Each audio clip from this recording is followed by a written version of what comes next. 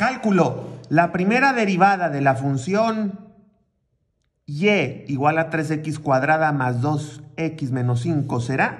Y esta es una de las posibles opciones. Fíjate, la y siempre para la derivada, que es lo que nos pide, se pone así, una comita. Todas las opciones la traen. Y luego para derivar esto se multiplica 3 por 2, 6. X y al exponente 2 le restamos 1, pues nos queda 1. Luego dice más y nos vamos con este. Cuando tú veas un número con la X solamente se queda el número, entonces se queda el 2. Y cuando tú tengas solamente un número solo, es 0, ni se pone. Por lo tanto, este es el resultado. 6x más 2.